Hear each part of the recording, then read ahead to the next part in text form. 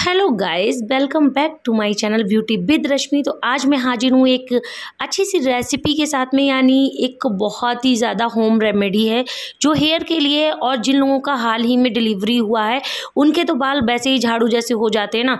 तो यहाँ पे उन लोगों के लिए ये वाली ट्रिक और ये वाला सोल्यूशन बहुत ही अच्छा रहेगा, क्योंकि मेरी भी डिलीवरी के बाद बाल एकदम झाड़ू जैसे बन गए थे और इतनी गांठ लग जाती थी बालों में, इतने ट्रेंगल बन जाते थे कि कभी कभी मेरा तो मन ही नहीं होता है कि मैं अपने बालों को कभी भी कंगी करूँ।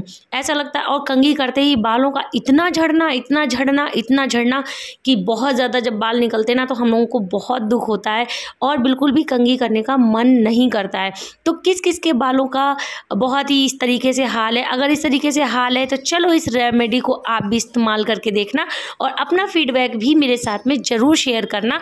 मैंने इसको कम से कम आ, आ, दो महीने से मैंने इसको यूज़ किया है और मैंने ज़्यादा कर भी नहीं पाया है यूज़। सिर्फ़ मैंने चार से पाँच बार इसका यूज़ कर पाया है, क्योंकि छोटे बच्चों में तो आप जानते हो कोई भी रेमेडी इतनी आसानी से कोई भी इस्तेमाल नहीं कर पाते हैं हम लोग।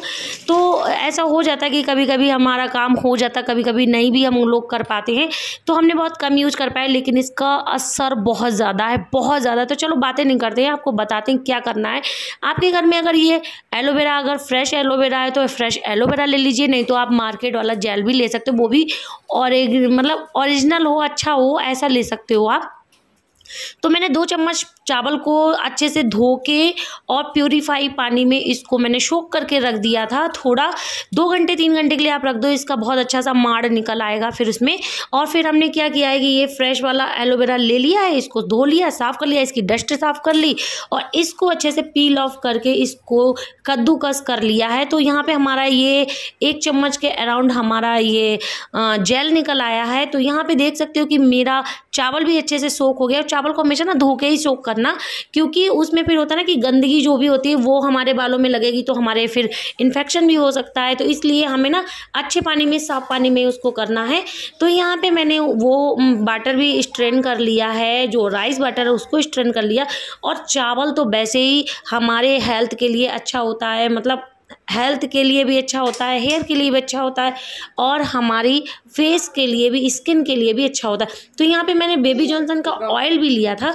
बेबी जॉनसन का ऑयल मैंने इसलिए डाला है क्योंकि बालों में हल्का सा रफनेस बहुत ज़्यादा हो रही थी तो इसका यूज़ करने से रफनेस चली जाती है और ग्रीसलिन मैंने डाली है। इससे स्कैल्प में ये जो ईचिंग होने लगती है गर्मियों में वो अच्छी से आ, मतलब स्कैल्प एकदम साफ़ हो जाती है और ईचिंग नहीं होती तो यहाँ पर मैंने शैम्पू का यूज़ किया है, बाओ का।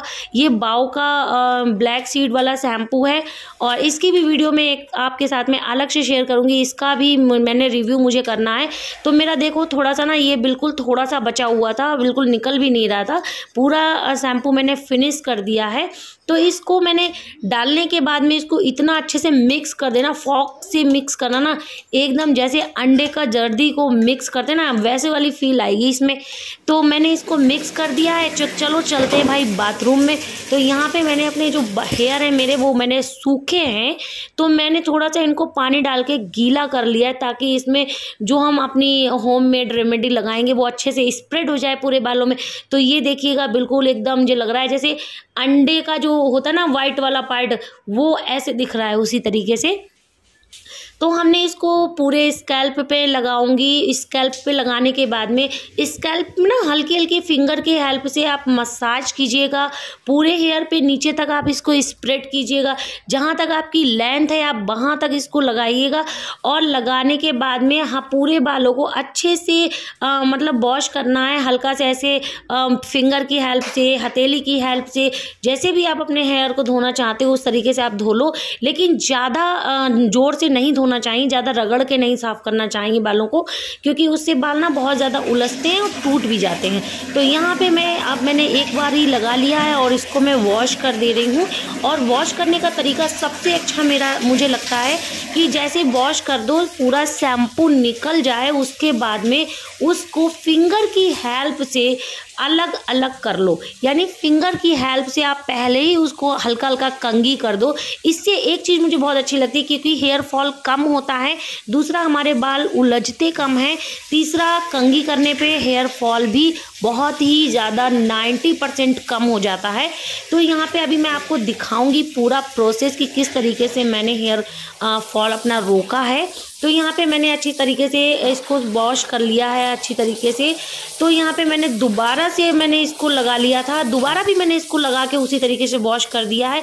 और अब मैं लगा लूँगी इसका जूड़ा और अपने नहाने के बाद मैं अब आपसे मिलती हूँ। तो मैं यहाँ पर नहा चुकी हूँ। नहाने के बाद में मैंने इसको अपने कॉटन मतलब कॉटन की टॉवल से इसको रैप कर लिया था। और हमेशा हल्के कपड़े से ही बालों को रैप करना चाहिए। कभी भी मोटी या भारी टॉवल से रैप नहीं करना चाहिए।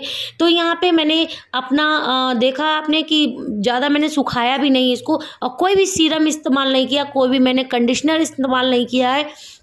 उसके बाद भी आप मेरे बाल देख सकते हो कि कितने सुलझे सुलझे से दिख रहे हैं ना। ये वाली ट्रिक जो मैंने आपको बताई ना नहाने में आप अपनी फिंगर से ही अगर अगर आप साफ़ कर लोगे ना बालों को हाँ, मतलब अलग अलग कर लोगे तो ये ही आपका होगा। मैं आपको दिखा रही थी कि देखो नीचे भी मेरा हेयर फॉल नहीं हो रहा है और कंगी में दो चार बाल आए हैं तो वो तो एक नॉर्मल बात होती है। वो तो दो चार बाल आते हैं और आप देख सकते हो कि मेरा हेयर कितना अच्छा लग रहा है। एकदम अलग अलग वाला लग रहा है और हेयर फॉल भी पूरी तरीके से मेरा रुक ही गया है समझो।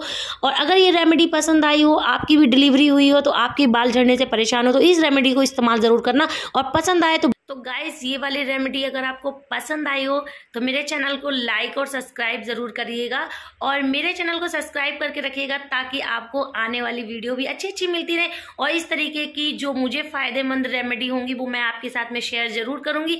तो उसके लिए आपको मेरा चैनल करना पड़ेगा सब्सक्राइब तो जल्दी से सब्सक्राइब कीजिएगा, बिल्कुल भी कंजूसी नहीं कीजिएगा। तो चलो मिलते हैं एक अच्छी सी नई वीडियो के साथ में, तब तक के लिए बाय